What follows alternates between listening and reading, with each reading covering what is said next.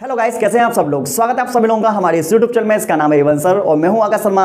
आज आप लोगों को समझाने वाला हूँ टॉपर सीक्रेट स्टडी स्ट्रेटजी वो कौन कौन सी स्ट्रेटजी है जो टॉपर लोग अपनाते हैं? और उसके साथ साथ मैं इसी के माध्यम से मैं आप लोगों को ये भी समझाऊँगा कि जो स्टूडेंट है अपने स्टडी टाइम में वो कौन कौन सी फोर बिग मिस्टेक करते हैं, जिसके कारण उनके जो नंबर हैं बहुत कम रह जाते हैं सिलेक्शन होने से रह जाता है टॉपर बनने से वो रुक जाते हैं। तो आपको बता दें, ये वीडियो हर एक स्टूडेंट के लिए जो किसी भी एग्ज़ाम की प्रिपरेशन कर रहा हो चाहे वो यूपी बोर्ड हो चाहे नाइन्थ हो या टेंथ हो या फिर आ, कोई भी कंपटीशन एग्ज़ाम हो आप इन चीज़ों को पहले सीखिए सुनिए समझिए और उसके बाद में उन्हें फॉलो कीजिए और फिर देखिएगा कि आपको इनमें से कौन सी आप मिस्टेक करते हैं। उसके साथ साथ में जब हमारे चार पॉइंट्स इंपोर्टेंट हो जाएँगे उसके बाद में आपको प्रो टिप्स लास्ट में एक देने वाला हूँ जो कि आपको वीडियो के लास्ट में मिलेगा जो कि आपके लिए बहुत ही ज़्यादा इंपोर्टेंट होगी। तो सबसे पहले नंबर की अगर हम बात कर लेते हैं जो हम सबसे बड़ी बिग मिस्टेक करते हैं वो है डोंट फॉलो मेनी टीचर्स आपको बता दें कि हम जब हम जब मतलब हम टीचर हैं, हमने क्लास में बहुत सी बार देखा है कि जब हम कोई क्लास लेते हैं, ठीक है तो कोई बच्चा हमसे जुड़ा,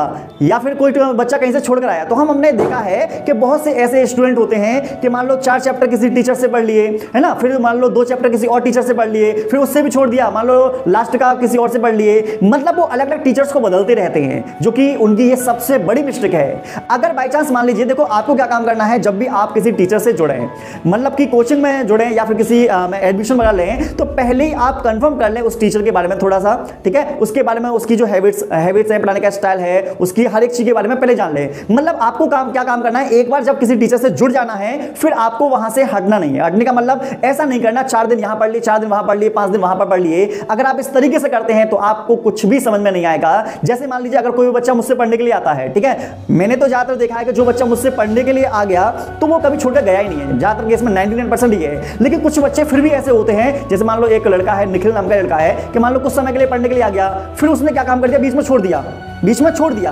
फिर उसके बाद मान लो कहीं वो और चला गया, वहाँ से भी छोड़ दिया। तो कहने का मतलब ये है कि अगर एक को पकड़ोगे, दूसरे को छोड़ोगे, दूसरे को छोड़ोगे, तीसरे को पकड़ोगे, अगर ये काम चलता रहेगा आप लोगों का तो ये सबसे बड़ी मिस्टेक है। ऐसी की मिस्टेक बिल्कुल मत करें। अगर आप हमसे जुड़े हैं या आप किसी टीचर से जुड़े हैं तो आप उससे लगातार जुड़े रहिए और अच्छे तरीके से पढ़ते रहिए। ठीक है ना? चलिए, पहली मिस्टेक आप लोगों को समझ आ गई। दूसरे नंबर की है प्रोक्रास्टिनेशन बहुत से लोगों के मन में रहता है कि यार अभी तो बहुत समय है, अभी क्या, अभी तो होली दिवाली है, भैया दो, अभी तो हमारे पास बहुत समय है, बाद में पढ़ लेंगे, हैं? या फिर आपको क्या सोचते हो कि जैसे हमारी छुट्टियाँ खत्म हो जाएँगी, अगले दिन से यार धुआंधार, पाँच घंटे पढ़ना है, दस घंटे पढ़ना है मतलब अब तो मतलब जीजा लगा देनी है। लेकिन फिर भी वो नहीं कर पाता।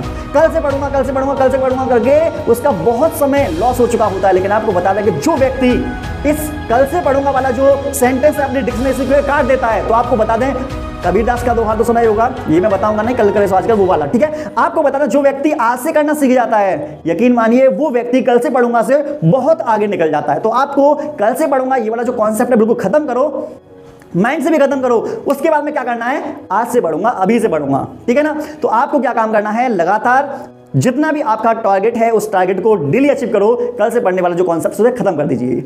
तीसरे नंबर का है सेल्फ डाउट आपको बता दें, जब आपको खुद पर भरोसा नहीं होगा तो दूसरा आप पर क्या भरोसा करेगा? बहुत से लोगों को खुद में ही नेगेटिव थॉट्स बड़े रहते हैं कि यार, मेरे टेंथ में तो मतलब कि सिक्सटी परसेंट थे, अब मैं यार ट्वेल्थ में हूँ ट्वेल्थ में नाइन्टी परसेंट कैसे लेके आऊँगा? है? इतना बड़ा चेंजेस कैसे हो सकता है? मतलब कि या मान लो ट्वेल्थ में मान लो उसके एट्टी परसेंट थे या सेवेंटी परसेंट थे, या मान लो नीट की प्रिपरेशन कर रहा हो, या फिर मान लो जीमेंस की प्रिपरेशन कर रहा हो, वो करो यार, मैं ऐसे, इसे कैसे करूँगा मैं तो इतना इंटेलेंट नहीं हूँ। बहुत से लोग क्या काम करते हैं? खुद पर ही डाउट करते हैं। हमसे ना हो पाएगा। टाटा बाय बाय खत्म। अरे भाई, तुमसे नहीं हो पाएगा तो फिर किससे हो पाएगा? आपको बता दें, ऐसे बहुत से यूपीएससी वाले हैं, ऐसे बहुत से नीट के स्टूडेंट हैं, ऐसे बहुत से जीमेंस वाले हैं कि जिन्होंने नए मतलब कि टेंथ में ट्वेल्थ में उनका इतना अच्छा स्कोर नहीं था, लेकिन फिर भी उन्होंने खुद के बल पर, खुद की मेहनत लगा के डेली स्टडी करके डेली मतलब की चीज़ों को सीख कर मतलब एग्ज़ाम क्रैक किए पहली बार में। तो आपको बता दें, जब तक आप खुद पर डाउट करते रहोगे तो दूसरा तो आप पर डाउट करेगा लेकिन आपको क्या काम करना, खुद पर डाउट नहीं करना, खुद से बोलना है कि भाई, पहले मतलब पास्ट में जो आपका हुआ, वो छोड़ो, ठीक है? लेकिन आपको बता दें पास्ट आपका फ्यूचर डिसाइड तो नहीं करेगा। आप क्या काम करेंगे? अगर अभी से आपने सही डायरेक्शन में पढ़ना स्टार्ट कर दिया, अच्छे तरीके से पढ़ना स्टार्ट कर दिया तो आप अभी भी अच्छे मार्क्स ला सकते हैं, अभी भी अच्छे एग्ज़ाम को क्रैक आप कर सकते हैं। तो आप ये ना सोचें कि हमारा हाई स्कूल में क्या स्कोर था, हमारा ट्वेल्थ में क्या स्कोर था और हमारा ये स्कोर कैसा रहेगा। तो ऐसा बिल्कुल भी नहीं है, आप बहुत कुछ कर सकते हैं। लास्ट पॉइंट है जो कि सबसे ज़्यादा इंपोर्टेंट है, वो है कंपेयरिंग विद अदर्स आपको बता दें, हम लोग लगातार दूसरों से कंपेरिजन करते रहते हैं हैं? कि मतलब कि हमारा जो दोस्त है वो उसकी इतनी परसेंट है, या मान लो हमारे चाचा का लड़का उसकी इतनी परसेंट है, घर वाले भी हमारे कंपेरिजन करते रहते हैं। तो आपको क्या काम करना है? आपको कंपेरिजन दूसरों से नहीं करना है। आपको क्या काम करना है? खुद से करके देखिए। आपने क्या काम किया? जैसे मान लो आज है और अभी है। आपको क्या काम करना है? आपने क्या काम किया? अभी एक चैप्टर स्टार्ट किया स्टडी करने के लिए। आज आपने एक घंटे पढ़ा, फिर आपने डेढ़ घंटे पढ़ा, फिर आपने क्या काम, उसके कॉन्सेप्ट किया, फिर उसने खुद से टेस्ट दिया। इस तरीके से डेली का आपको इंप्रूवमेंट करते चलना है, ठीक है? अगर आप इस इस तरीके से करते रहेंगे, अगर आपका हाई स्कूल में मान लो 60 परसेंट था और अगला, अगली बार फ़र्स्ट ईयर में अगर आप 70 परसेंट भी ले आए तो आपको बता दें आप में काफ़ी इंप्रूवमेंट है। आप ट्वेल्थ में मान लो आपने क्या काम किया? 85 परसेंट ले आए मतलब काफ़ी इंप्रूवमेंट है। आपको कंपेरिजन खुद से करना है कि हाई स्कूल मेरे इतने थे और ट्वेल्थ में मेरे 85 है। 60 से 85 पर आप पहुँच गए मतलब आपने खुद को इंप्रूवमेंट किया है। तो आपको कंपेरिजन दूसरों से नहीं करना, खुद से करना है कि लगातार आप काम कर रहे हो, नहीं कर रहे? लगातार आप स्टडी कर रहे हो, नहीं कर रहे? मतलब खुद को लगातार इंप्रूव करना है खुद पर आप लोगों को काम करना है। मतलब दूसरे बच्चे, देखो, जो व्यक्ति दूसरों से कंपेरिजन करता रहेगा, वो हमेशा दुख में बना रहेगा, वो हमेशा चिंता में रहेगा, वो हमेशा टेंशन में मिलेगा आप लोगों को। आपको क्या काम करना, दूसरों से नहीं करना। दूसरे के कितने आए डजेंट मैटर लेकिन हाँ मैं खुद पर मेहनत करूँगा, जितनी मेरे पढ़ाई हो सकती है, दस घंटे, बारह घंटे, छह घंटे, आठ घंटे, मैं उतनी पढ़ाई करूँगा। जो मेरे डाउट है डाउट कोड में डेली क्लियर करूँगा। मतलब आपको जो करना है, खुद पर काम करना है, लगातार करना है। जब आप काम करते रहोगे, आप में लगातार इंप्रूवमेंट आती रहेगी। कंपेरिजन दूसरों से मत करो खुद से करके देखो कि कल मैंने ये किया, आज मैंने कितना किया है, ये बस देखना है आप लोगों को। और जब रात को सोए आप लोग तो खुद से पूछें कि आज आपने इतने घंटे पढ़ाई करने वाले अंदर से एक आवाज़ आती है कि भाई आज मज़ा आ गया मतलब टेंशन फ्री कि जो मेरे टारगेट थे, मैं टारगेट डेली अचीव कर रहा हूँ। तो आपको बताएँ, डेली टारगेट अचीव करना बहुत ज़्यादा इंपॉर्टेंट है। बहुत बड़े टारगेट बनाओ छोटे छोटे टारगेट बनाओ और उनको डेली अचीव करते रहो। तो इस तरीके से आप, ये जो मैंने चार चीज़ें बताई हैं, इन चार चीज़ों को आप फॉलो कीजिए और आप आगे बढ़ जाइए। मैंने जैसा कि आप लोगों को बोला था कि मैं लास्ट में आपको एक प्रो टिप दूँगा। तो क्या आप लोग प्रो टिप्स सुनने के लिए तैयार हो ना? आप हमें कमेंट्स में बताइए कि, सर, हम इनमें से कौन सी गलती करते हैं? पहले तो आप हमें ये बताइए। फिर एक मैं जो आपको प्रो टिप्स बता रहा हूँ, उसको फील करके देखना। जैसे मान लो आपको बता दें, जैसे हम हमने क्लास में क्या बोला कि हमने मान लो टेस्ट लिया। और टेस्ट लेने के बाद मैंने आपसे बोला कि, भाई, मैं टेस्ट लेने के बाद में, जो टेस्ट में फ़र्स्ट नंबर पर आएगा, मैं उसे चॉकलेट दूँगा। ठीक है?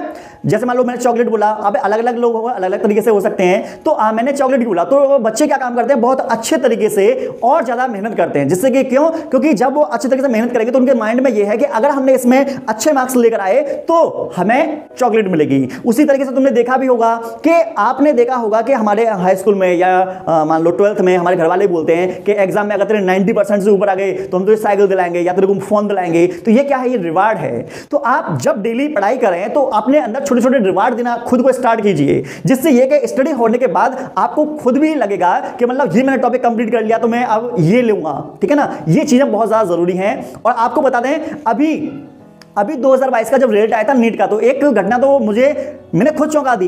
एक स्टूडेंट था जो नीट की प्रिपरेशन करता था उसकी मम्मी ने बोल दिया कि घर में पकवान जब बनेगा जब तेरा नीट एग्ज़ाम क्रैक हो जाएगा।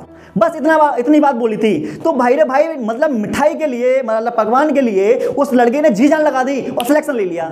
बस में ये है रिवार्ड की पावर ये सत्य घटना है, ये मैंने अभी खुद 2022 में खुद देखी थी। तो इस तरीके से आपको स्टडी करनी है, इस तरीके से आप लोगों को मतलब प्रिपरेशन का ये वाला स्टडी अपनानी है। और उसके साथ साथ में आपको जो भी हम बातें बताते हैं, हम अपने एक्सपीरियंस जो भी चीज़ें आप लोगों को सिखाते हैं, उनको फॉलो किया करो, जिससे कि यह कि आपको भी इन चीज़ों का फ़ायदा मिल सके। और आप सभी लोगों से एक रिक्वेस्ट है कि हमारे इस वीडियो को, इस वीडियो को आप एक व्यक्ति जो आप लोग देख रहे हो, आप इस एक वीडियो को आप अपने तीन फ्रेंड पर ज़रूर शेयर किया करें। जैसे कि आपने एक मूवी देखी होगी, उसका नाम है जय हो। उसमें बोला था कि अगर आपने किसी का तीन का मतलब किसी का भला किया तो थैंक यू के थैंक यू ना बोलकर आपने क्या काम करना है? तीन लोगों को और को भला करना है। तो आपने मान लो ये वीडियो देखी तो आपको बस तीन लोगों को ये वीडियो सेंड करनी है। इसके अलावा मैं तुमसे कुछ नहीं चाहता हूँ। बस आप तीन लोगों को शेयर कर दोगे तो ये है कि तीन लोग हमसे और जुड़ जाएँगे, तीन लोगों को और विज्ञान मिल सकता है। तो बस इतना ही काफ़ी है।